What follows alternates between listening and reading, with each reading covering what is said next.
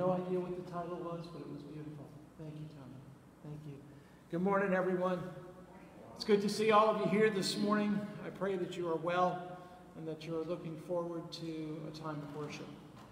I want to invite you to join me in reading our life verse for August. It comes from Paul's letter to the Ephesians, chapter 2 and verse 10. Let's read these words together. For we are God's handiwork, created in Christ Jesus to do good works, which God prepared in advance for us to do. And we are doing good works here at Stockton. Y'all know we're in the midst of several projects. I just want to remind everyone today is the final day to collect uh, school items for the South Richmond Center. I want to thank everybody who has contributed to that. Paula will be putting all of that work together. She's given me two thumbs up, so good job, folks. Um, and we're going to get those delivered this week, so thank you all for helping out with that.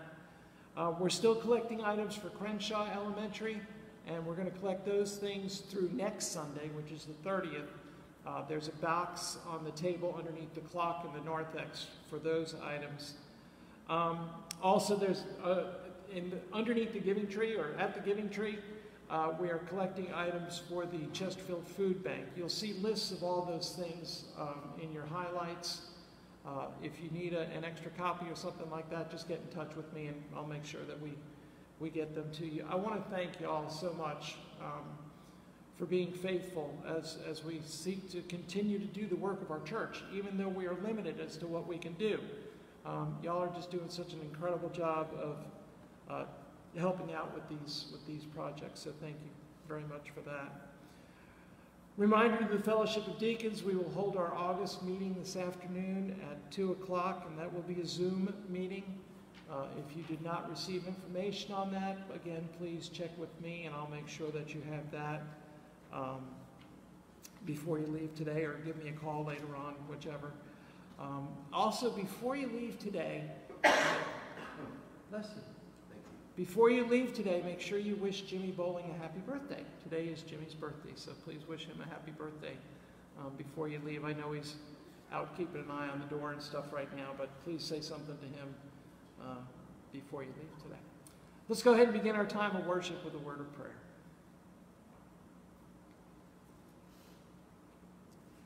We praise you this morning, O oh God, as we come into your house. We honor you, for you are our source of life and encouragement. You sustain us with your love, and more importantly, with your presence.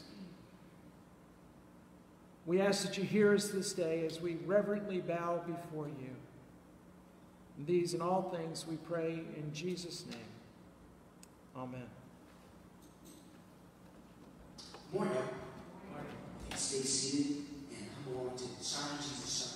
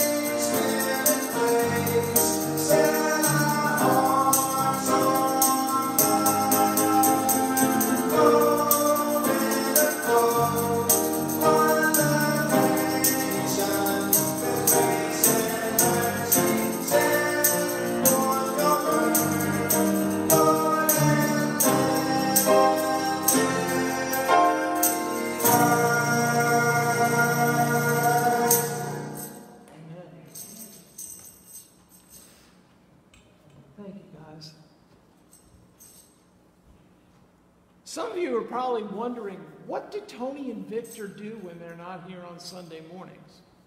Well, we're all kind of wondering that, but on the good side, um, I know, Tony, we don't want to remember. We remember that. Uh, earlier this week, Wednesday or Thursday,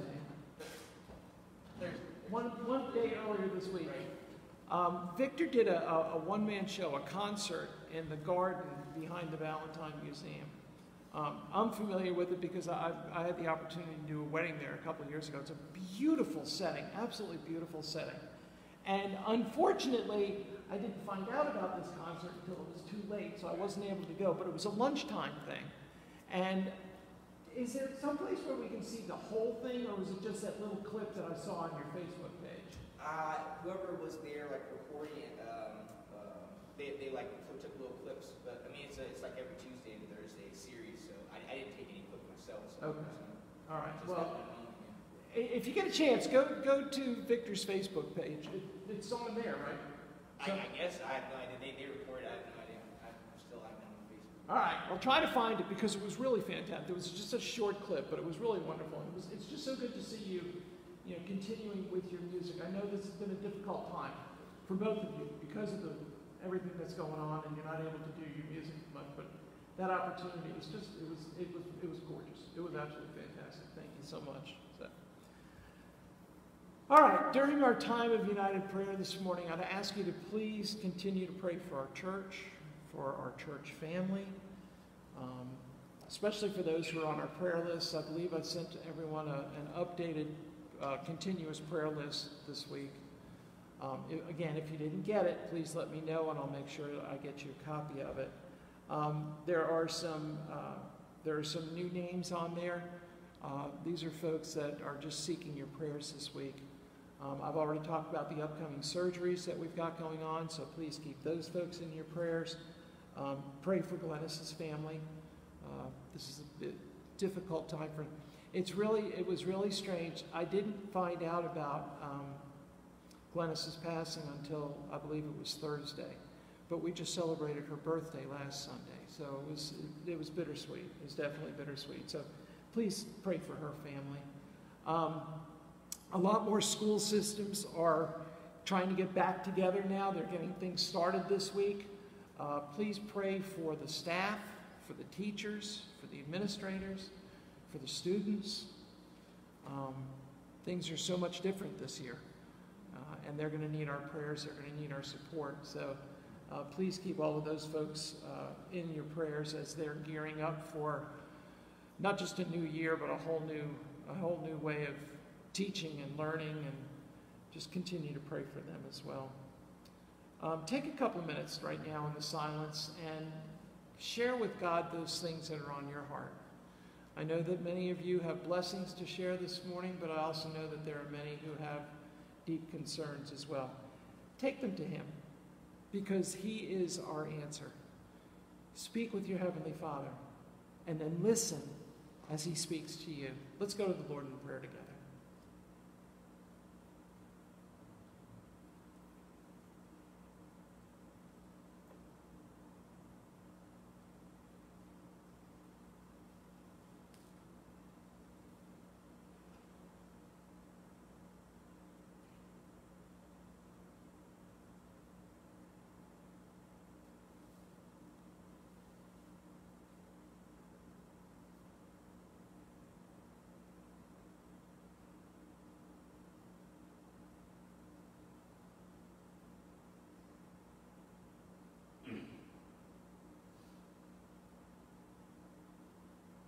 Mighty and glorious Father God, your goodness surrounds us like the waters of the ocean.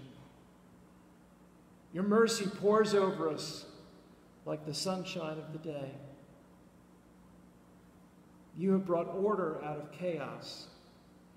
You are forever, forever faithful to your creation. And you offer forgiveness and the promise of new life to all who seek you with their whole hearts. As we gather this morning, our heads bowed in prayer, we beseech you, Lord, to lend an ear to our needs and hear our praises as we lift them to you. You, O Lord, are the giver of compassion and mercy.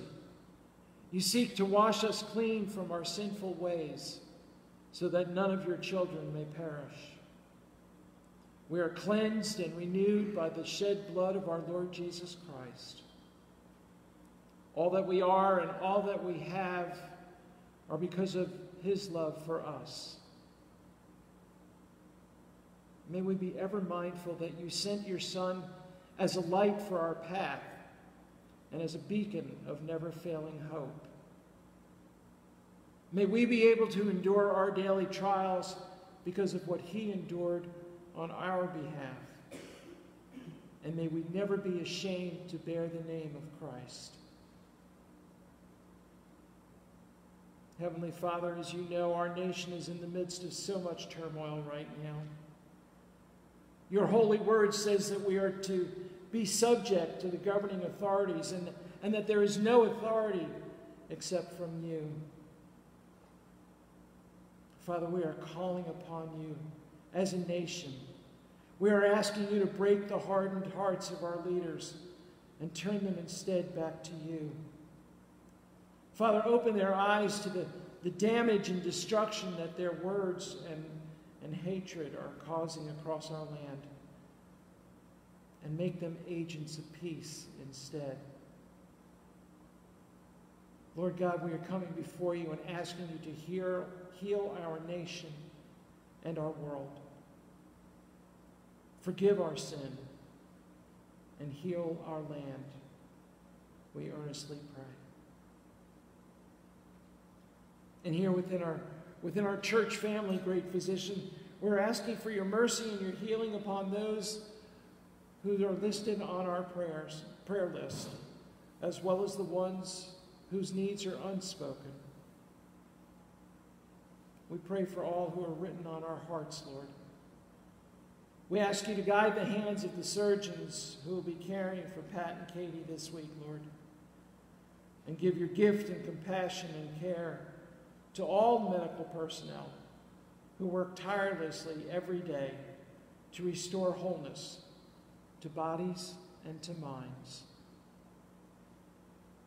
Father, we ask a special prayer this morning for all those who have lost loved ones. Father, we ask you to just cover them with your, with your mercy, cover them with your grace, comfort them in their time of grief. Help them to know that you are always with them and that they are never alone. Lord, we look forward to the day when we will all be able to safely gather again here at Stockton Memorial Baptist Church to worship as a family. But until that time, Lord, may we not neglect those who are part of us but are unable to be with us. Remind us each daily to reach out to those who are separated from us by distance but are always with us in spirit. And now we pray, Come, Holy Spirit, and fill us with the fire of your love. Empower us and urge us on as we draw all the world to you. May we always be persistent in our efforts to be hands and feet and the voice of Jesus to this world, a world that so desperately needs him right now. All these things we ask in the matchless name of our Savior, who taught us to pray like this Our Father, who art in heaven, hallowed be thy name. Thy kingdom come, and thy will be done on earth as it is in heaven. Give us this day our daily bread, and forgive us our trespasses, as we forgive those who trespass against us. And lead us not to temptation but deliver us from evil. For thine is the kingdom, and the power, and the glory forever. Amen. If you can stay seated and come along with our trust in the Lord, all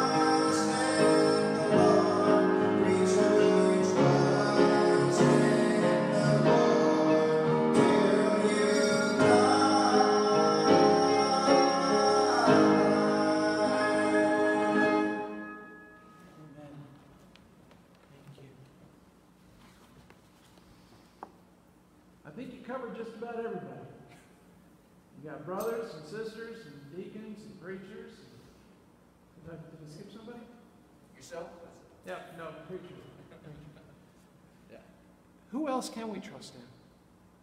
Who else can we trust in? We have to trust in the Lord.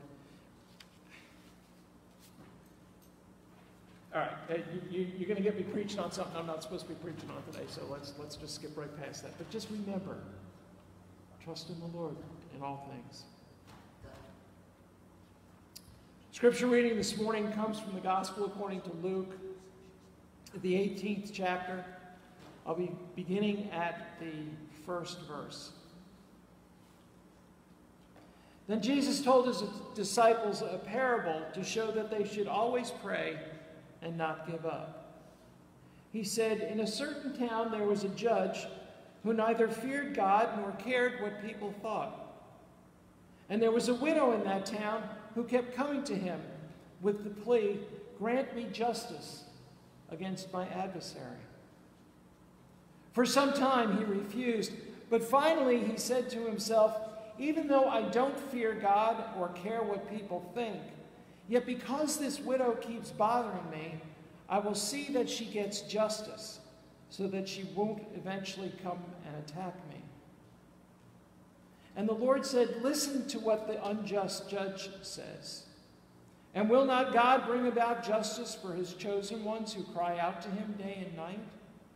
Will he keep putting them off? I tell you, he will see that they get justice and quickly. However, when the Son of Man comes, will he find faith on the earth? And may God add his richest blessing to the reading and the hearing of his holy word.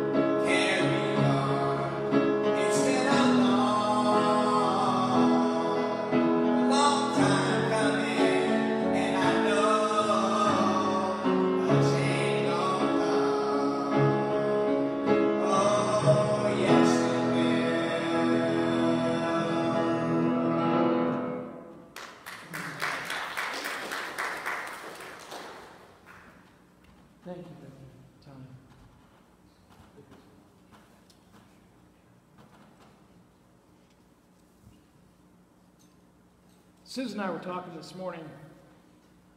Uh, we, we were blessed to have the, the grandchildren with us Friday night and, and yesterday. And uh, I say blessed with a smile on my face because when, I have the, when we have the grandchildren, I have a smile on my face. Amen? And when they go home, I have a smile on my face. Amen? But it's also a time of reflection. I mean, they change so quickly in just a week's time.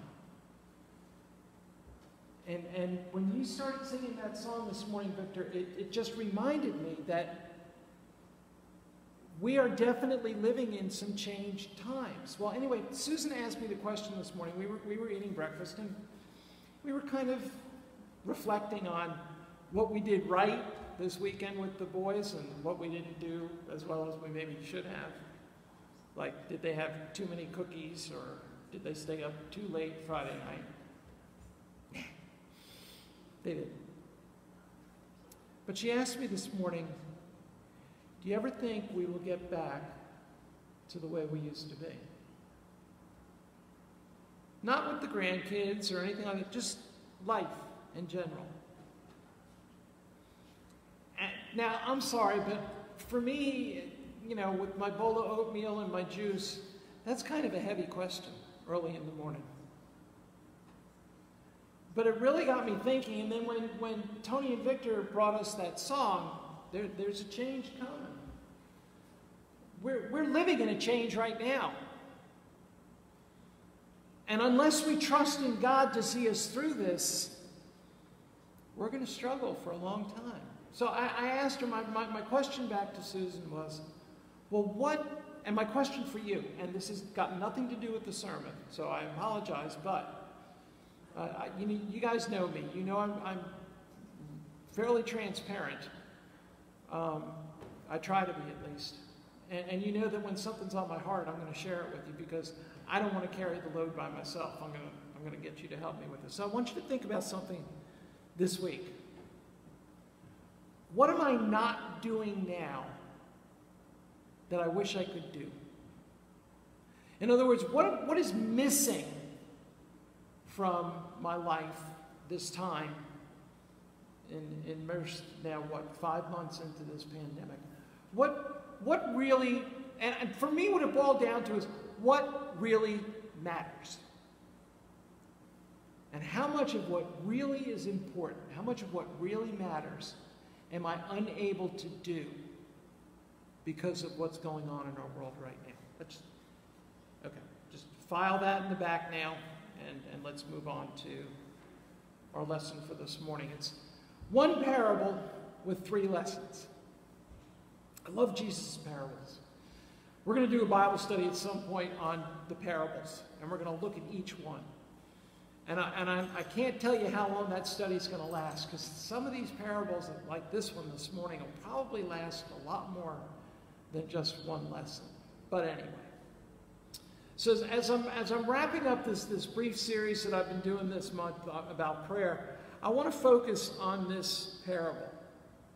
It doesn't seem to be a parable about prayer, but as we read through it, what it became for me it gives us insight into the importance of being persistent in our prayers. So I want to start by looking at the two main characters in this parable. There's a widow and an unjust judge. In Jesus' time, and, and to a certain degree still today in our time, two of the most vulnerable, vulnerable groups of people in society were orphans and widows. Even though the Old Testament teachings and the Jewish laws made specific references to the, how these two classes of people were to be cared for, these two groups were often overlooked. For example, and this I did not know this until I researched it. Orphans were uh, could inherit their father's estate. There's also historic evidence that in many Jewish communities, there were orphanages. Now, they may not have been the most wonderful places to be. They may not have been all that pleasant, but at least there was requirements in the law of how these children should be taken care of. There, there, was, there was an importance put on compassion and taking care of these little ones. Widows, on the other hand, were not allowed to receive their deceased spouse's property. So, what that meant was if we had a widow, she was dependent on her family. And very often, most of them could not, did not have the resources to care for the widow. In fact, the Old and New Testament contains several stories of destitute women, widows. The other person in the narrative is the judge. Now, when we talk about judges, do not confuse this with the judges, capital J, that you find in the Old Testament. These were people who were appointed by God to lead the people. No, the judges in the New Testament that we're talking about, these were local magistrates, and in most cases, they were self appointed, or they became judges because of their wealth or their position in the community. It's not that they had a sense of justice, it's just that they had more influence than others. And in this particular case, in the parable that Jesus told, and remember, Jesus told parables to the people so that they could identify with what he was saying. When he talked about fishing, the majority of those people, those men were fishermen. When he talked about widows and orphans, the people knew what he was talking about. And when he spoke of unjust judges, I imagine a lot in the crowd were nodding their heads because they had had dealings with the injustices. But Jesus emphasized the lack of qualifications of this particular judge by twice referring to him as one who didn't fear God, nor did he care about what the people thought. Now, think about it for a minute. In, in, in, our times today, in order to be a judge, you, you have to care about people.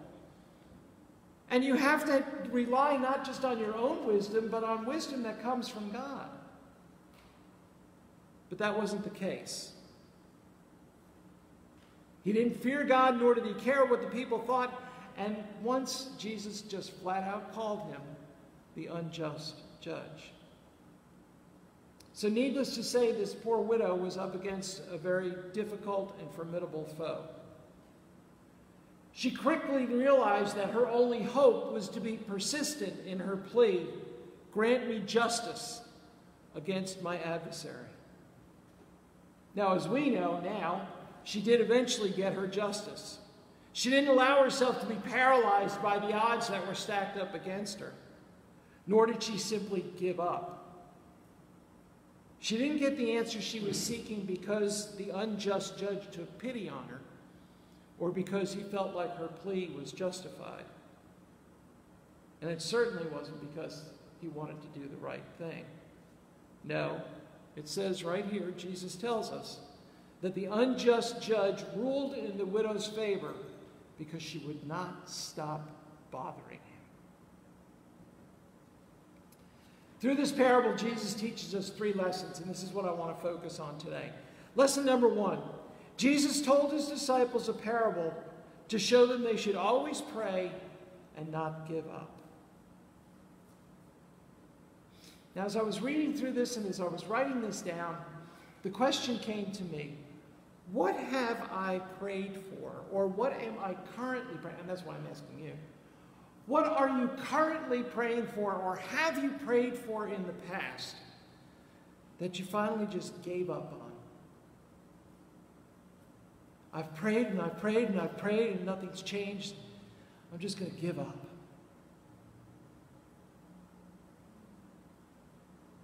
I read a study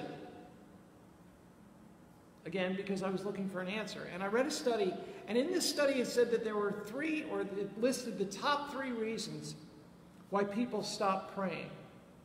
Number one, we, the one who is praying, have unresolved guilt or shame. This usually comes when we have unconfessed sin in our lives, which keeps us from feeling free to open up with God. In other words, we don't feel worthy. Number two is kind of the opposite of number one.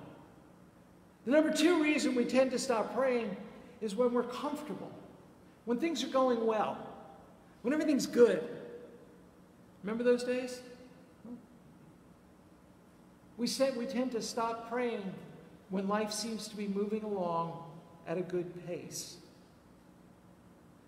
The problem with this, folks, is that we have to have a disciplined prayer life because if we don't, our prayers will be determined by our emotions, by how I'm feeling today.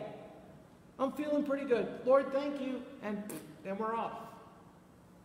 Is a lot different than on our knees praying, Lord, I need your help now.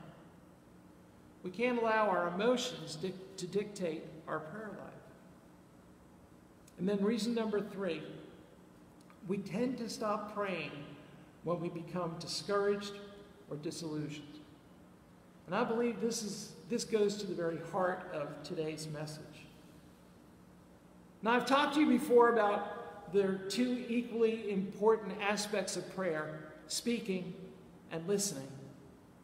Most of us are really good at the first part, but we struggle with the second. We're not as adept as listening to God's response or looking for God's response to our prayers. We send the prayer up,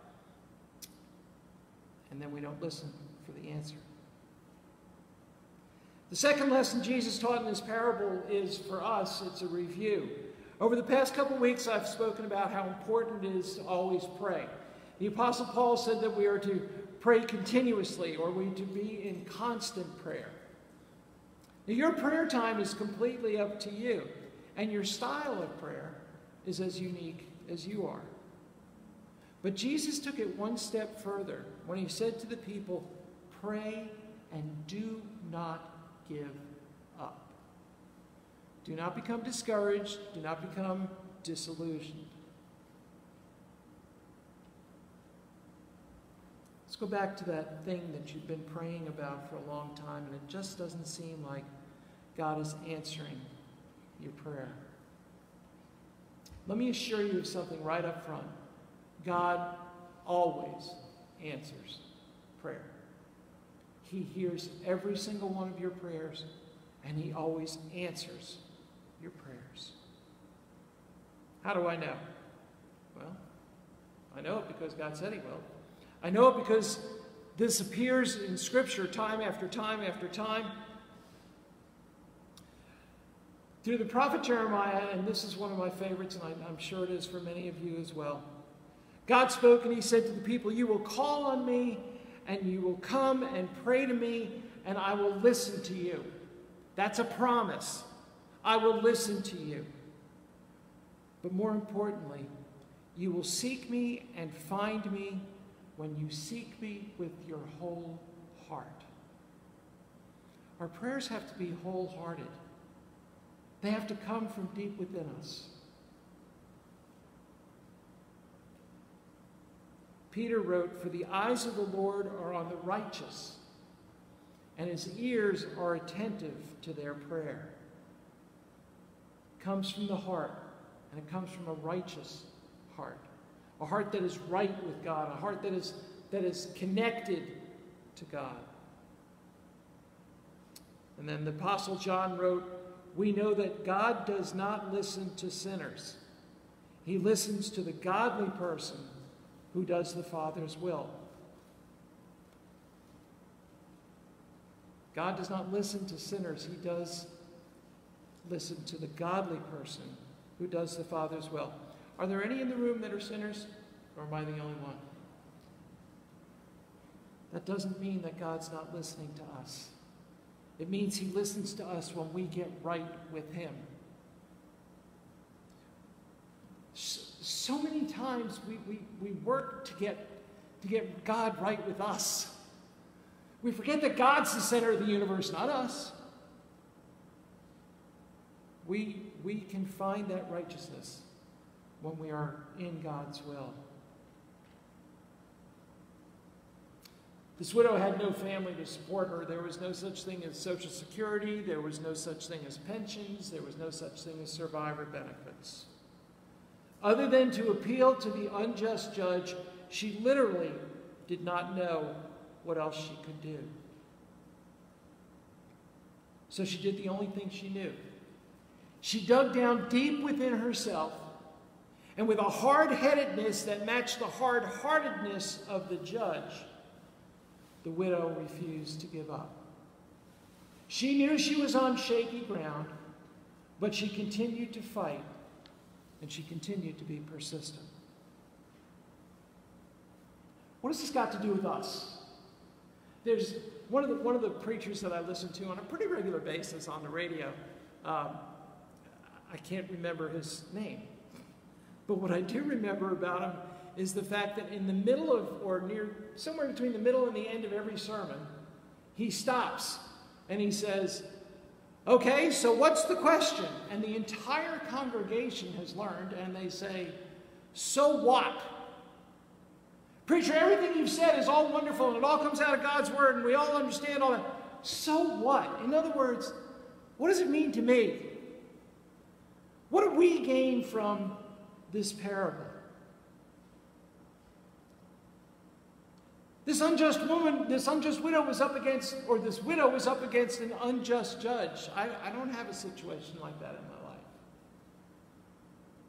How does this parable apply to my life? Folks, you and I are all, the whole world is up against a very formidable foe. A foe that has it at, at his command powers and, and things that are beyond anything that you and I think humanly possible.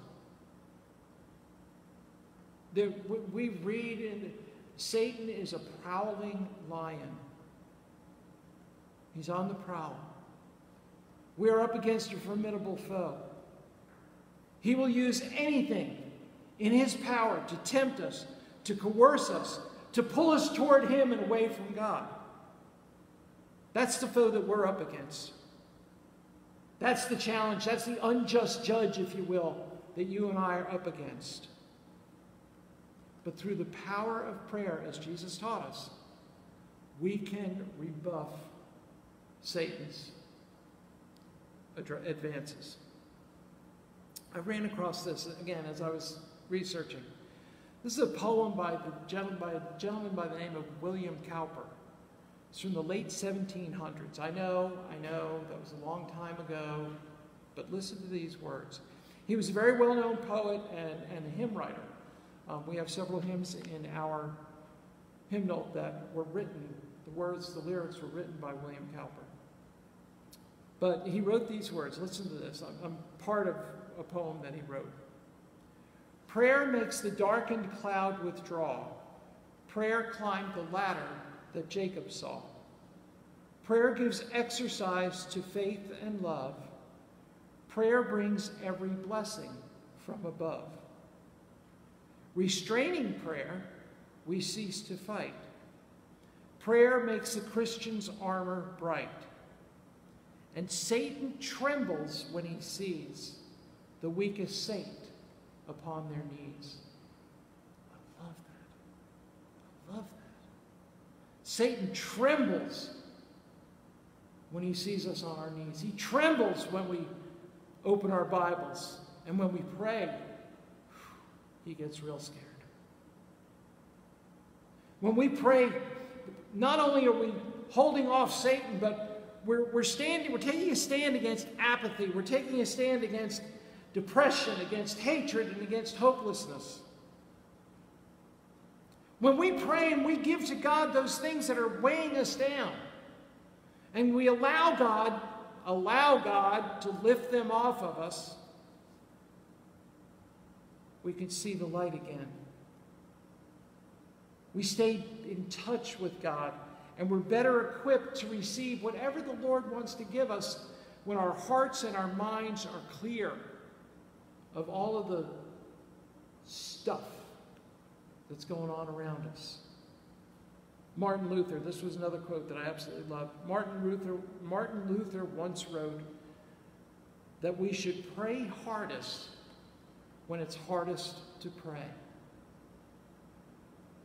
We should pray our hardest when, when it just seems like we can't do anything.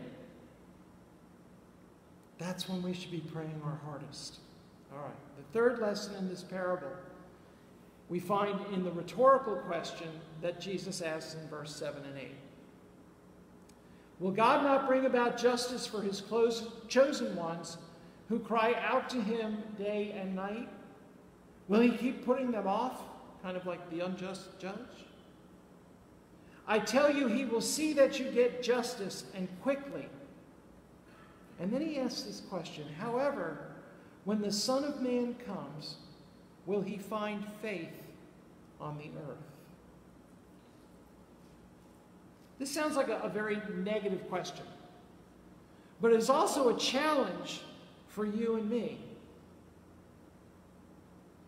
We have to ask ourselves are we what I call rainy day prayers? We only turn to God when things are bad. Or are we persistent in our prayers? Even when we, we don't hear an answer or we don't see the answer, are we still persistent? We know that God answers prayers. All right, I'm going to ask you a question. When does God answer? Uh, not, not how, because I've already, we've already talked about that. But when does God answer prayers? Anybody? In His time.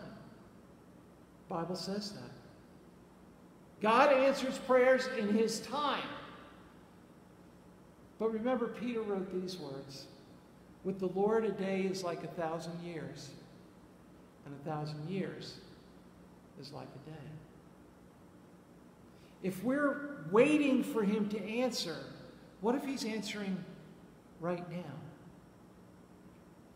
Those of you that have internet, I want to I want to make a suggestion to you. When you get a chance, sometime tonight, maybe tomorrow. Sometime when you when you're looking for something to help you prepare yourself for a prayer time, I, I want you to go online and I want you to look up a song called Blessings. It's by a lady by the name of Laura Story, S T O R Y. And listen to the words of that song. She talks about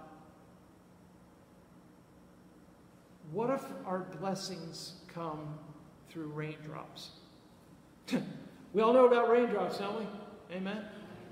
Last Sunday this time, some of us were trying to figure out if we were going to take the car to work, or car to church, or we were going to take the boat. But she says, what if our blessings come through raindrops? What if our healing comes through tears? Listen to the song. We're praying about something and we're looking for an answer down the road, but what if the answer is right in front of us? It's right there. Right there.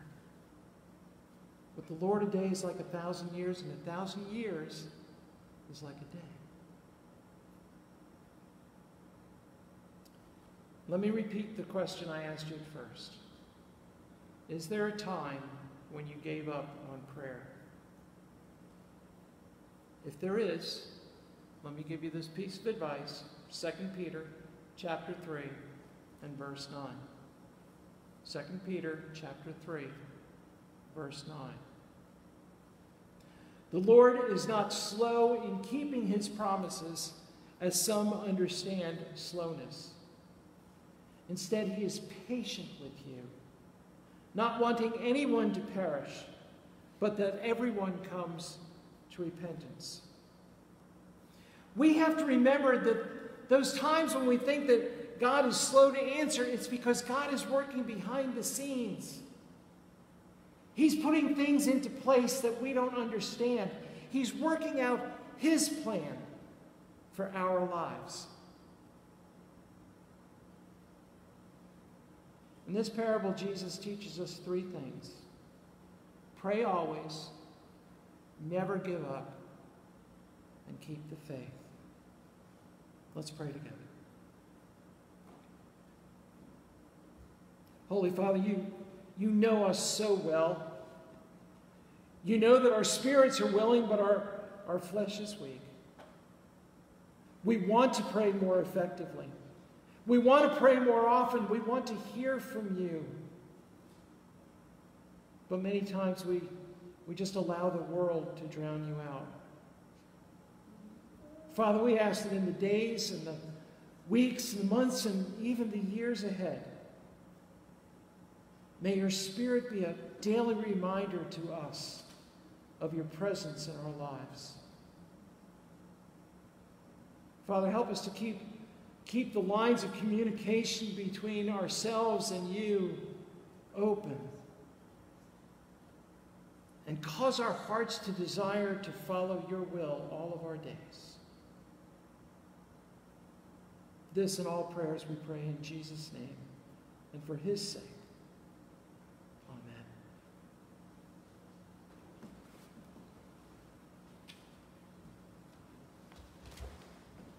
Don't stay seated and hold on to precious Lord, take my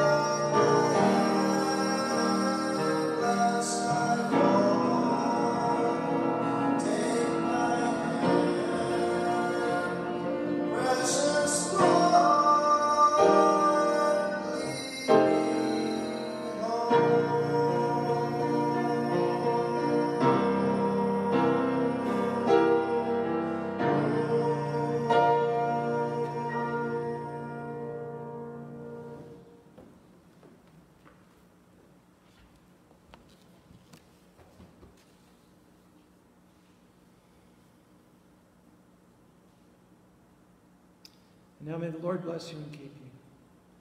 May the Lord make his face to shine upon you and be gracious unto you. May he lift his countenance upon you and give you his peace, his hope, his love, this day and forevermore. May the power of prayer always reign in your heart forever. Amen.